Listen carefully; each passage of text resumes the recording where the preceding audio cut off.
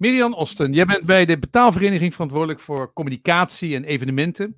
En je hebt nu een aantal ervaringen met hoe je een digitaal evenement opzet. Wat heb je daar allemaal van geleerd? Nou, ik vond het best wennen, want het belangrijkste is natuurlijk, je bent afhankelijk van techniek. Nou, dat is normaal in een zaal al ingewikkeld, maar met een online event is dat helemaal ingewikkeld. Dus daar wil je heel veel zekerheid over hebben dat dat helemaal goed gaat. Uh, en het tweede is, het, er zit toch een schermpje tussen. Dus je wilt uh, mensen betrekken, je wilt interactie hebben. Uh, en ook dat vind ik een, een, een, lastig punt met een online event.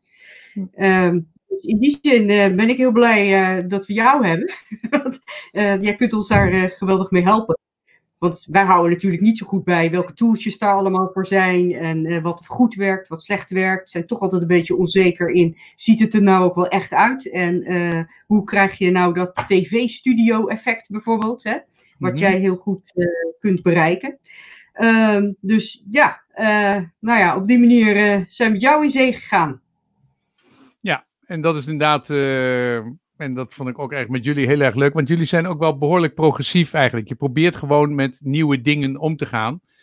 Um, enerzijds heb je dus met betaal-tv, heb je zeg maar uh, dingen gedaan dat je in een, in een studio, een fysieke studio, een opname maakt en daar uh, dingen in uitzendt.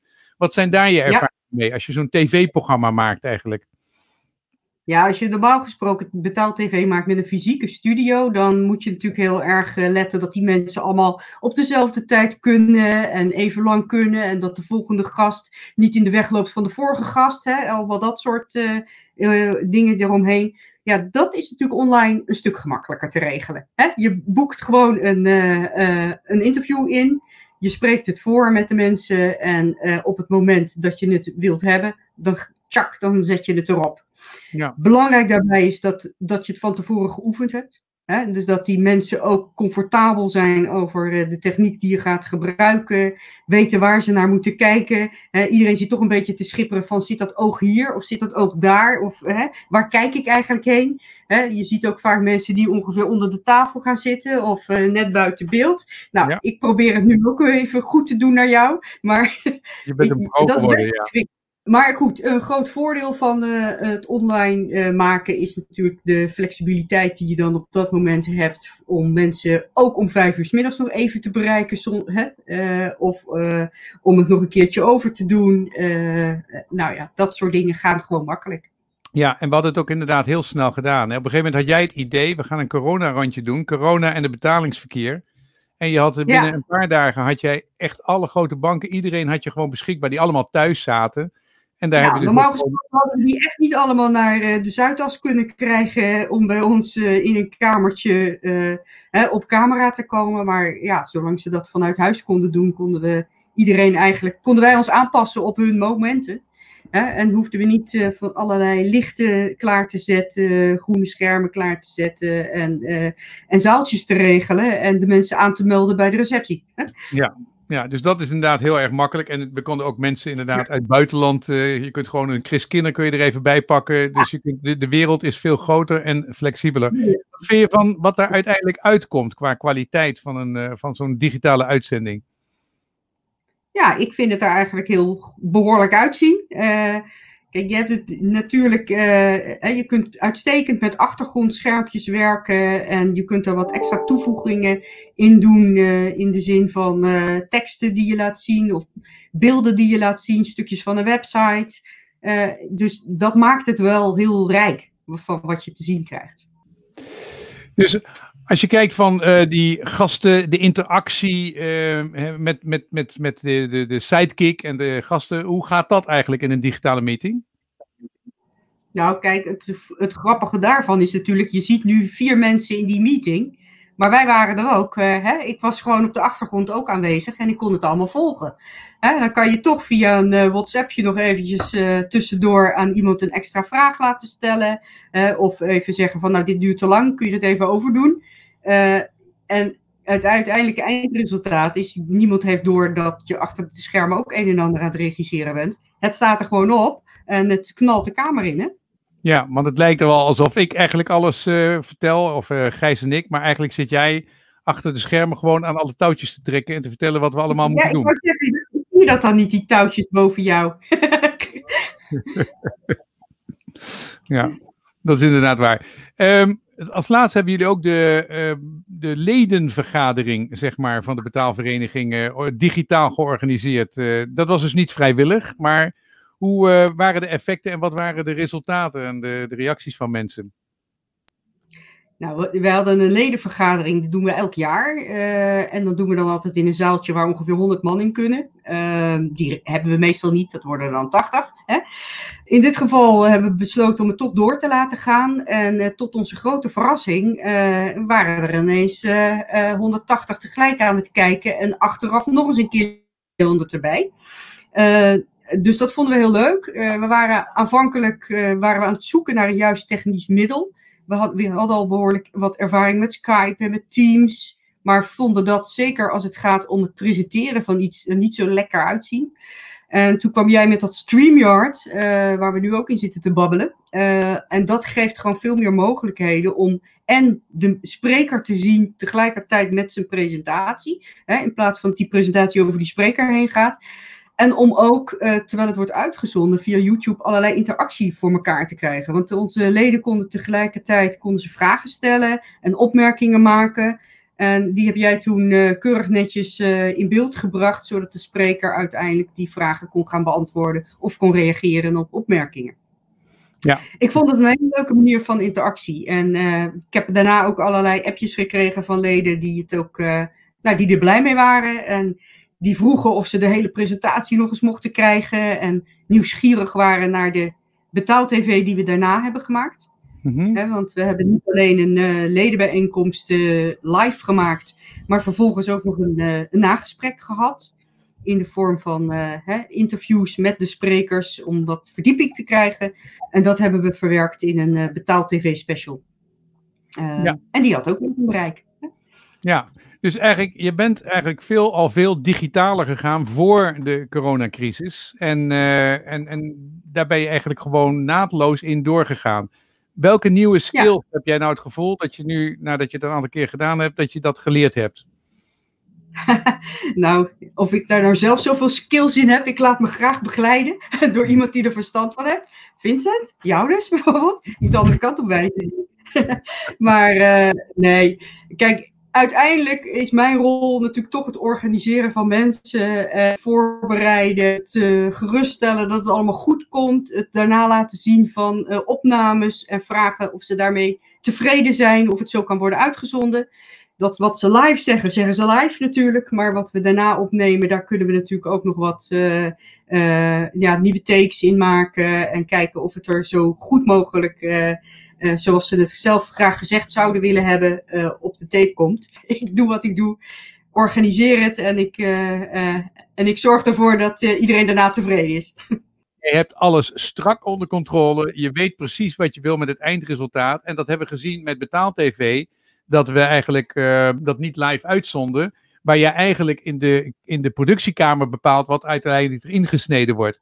Het nieuwe natuurlijk met de ledenvergadering was dat het live uitgezonden werd. En dat het live met allerlei interacties met allemaal leden die vragen stelden.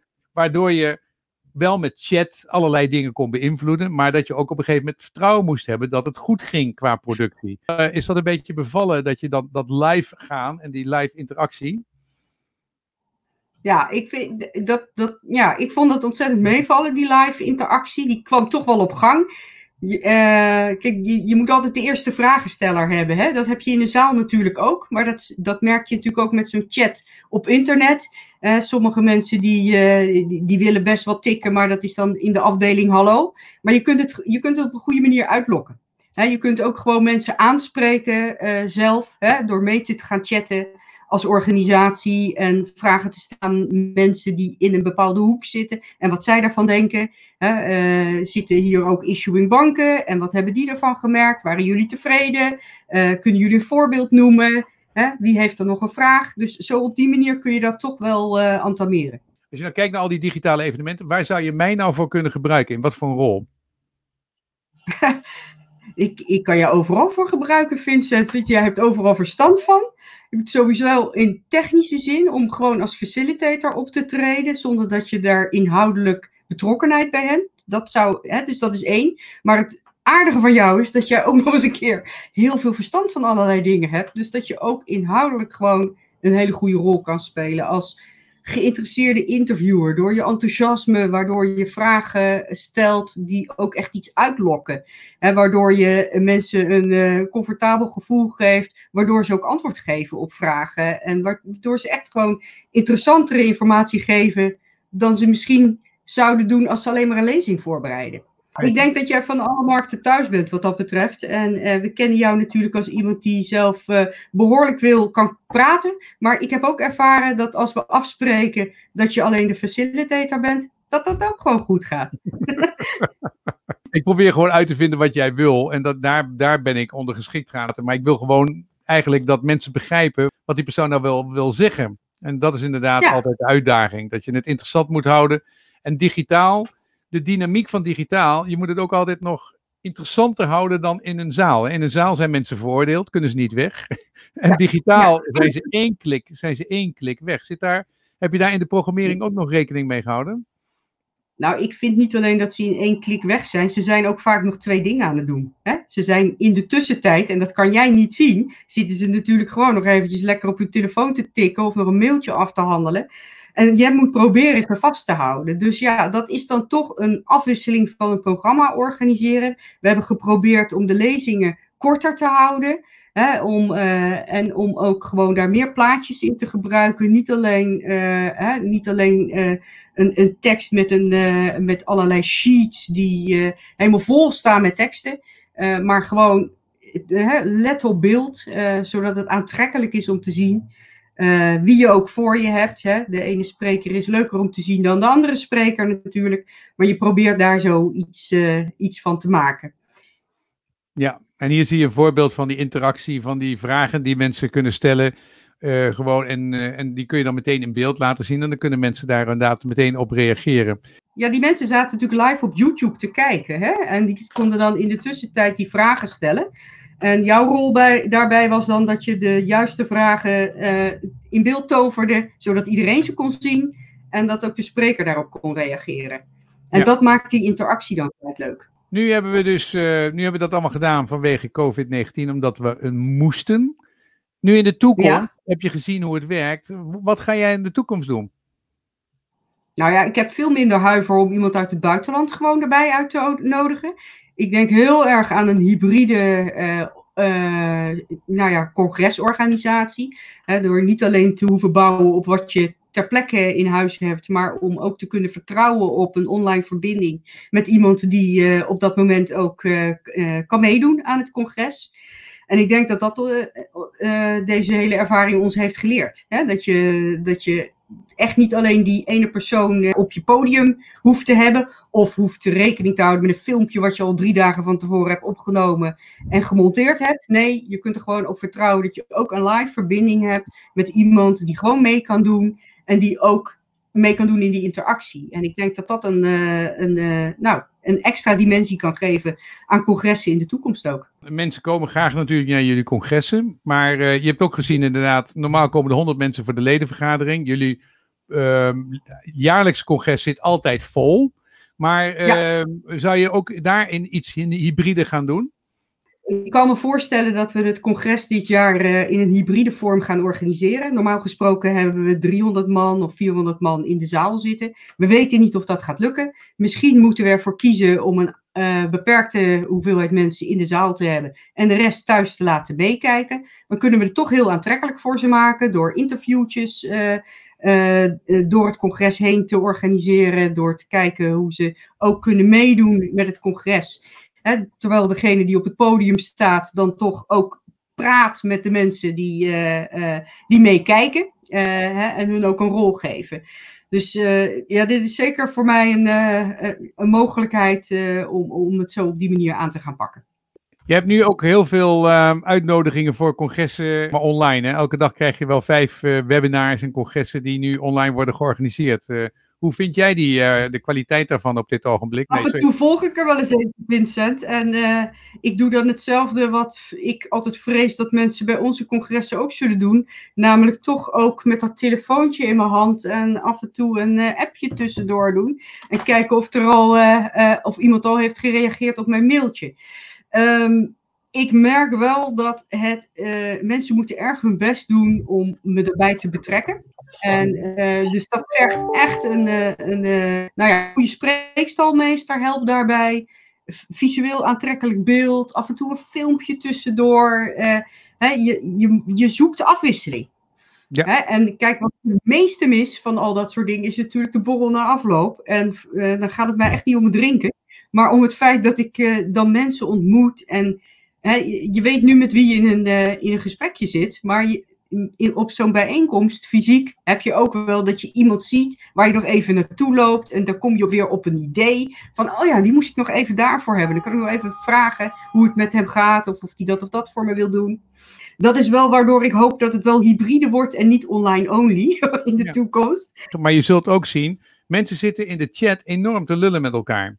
Dat is echt, ja. uh, je hebt enerzijds kun je dan in de algemene chat doen, maar mensen kunnen ook één op één chats met elkaar doen. En er zitten dus enorme gesprekken, zelfs ook tijdens de meetings. Hè? Dus als er gepresenteerd wordt, ja, zie je dat nu één op één. Op sommige platformen kun je dan één op één praten met elkaar en dat helpt enorm. Wat ook helpt, is dat je mensen ook in groepjes kunt stoppen. Dat je in groepjes van vier of vijf, dat mensen met elkaar kunnen praten. Dus je kunt zo'n organisatie met 400 man, kun je meteen 100 groepjes van vijf doen. En dan gaan ze eventjes praten rondom uh, individuele onderwerpen. Dus ja, nee, dat heb ik ook een paar keer gedaan. Waar, dat je in een breakout room uh, wordt gezet. Waarin je met een subgroepje kan praten. En daarna weer terug gaat naar de grote zaal. En uh, nou ja, dan weer even je mond mag houden. Hè?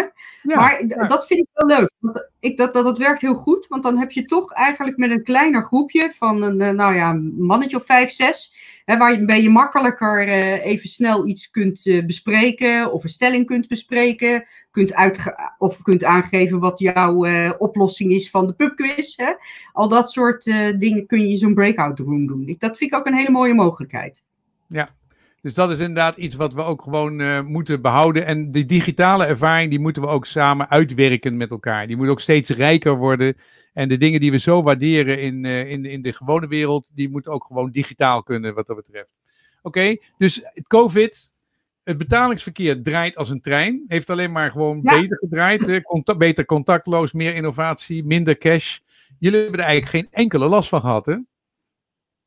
Nou ja, geen last van gehad. We hebben er veel werk aan gehad.